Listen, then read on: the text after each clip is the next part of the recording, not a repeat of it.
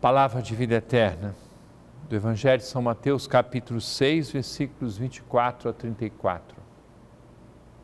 Naquele tempo disse Jesus aos seus discípulos: Ninguém pode servir a dois senhores, pois ou odiará um e amará o outro, ou será fiel a um e desprezará o outro.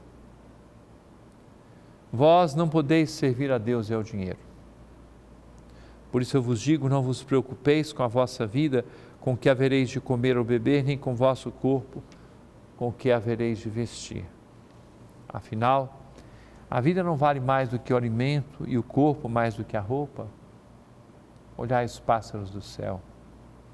Eles não semeiam, não colhem, nem ajuntam em armazéns. No entanto, vosso Pai que está nos céus os alimenta.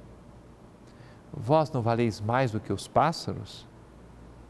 Quem de vós pode prolongar a duração da própria vida só pelo fato de se preocupar com isso?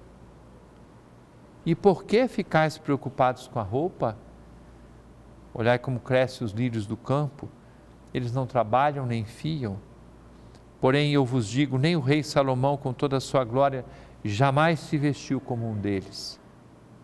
Ora, se Deus veste assim a erva do campo, que hoje existe, amanhã é queimada no forno, não fará ele muito mais por vós, gente de pouca fé? Portanto, não vos preocupeis dizendo o que vamos comer, o que vamos beber, como vamos nos vestir.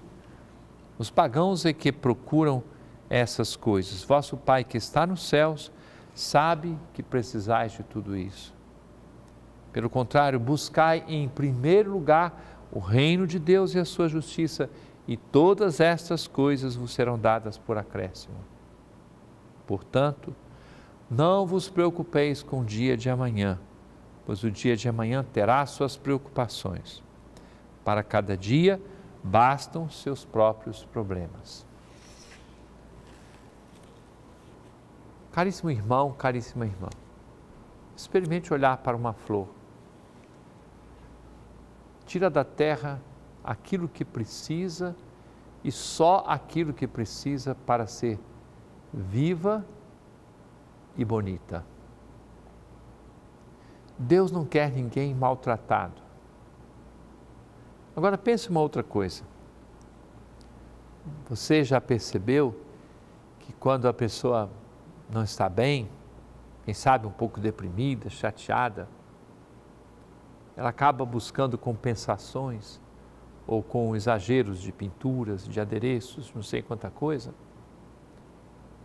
E quando a pessoa está bem no coração, ela consegue ser discreta, usa as coisas da terra, mas sem exagero, sem ganância, sem egoísmo.